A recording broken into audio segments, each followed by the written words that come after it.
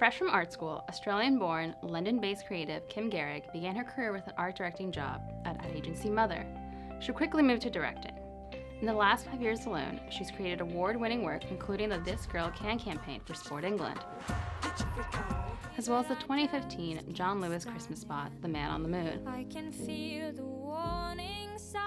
Most recently, Gehrig directed P&G's moving but controversial The Best a Man Can Be campaign. Boys will be boys. Boys will be boys. Boys will be boys. A provocative examination of masculinity born from Gillette's iconic tagline, The Best a Man Can Get. During Women's History Month, we honor Kim Gehrig.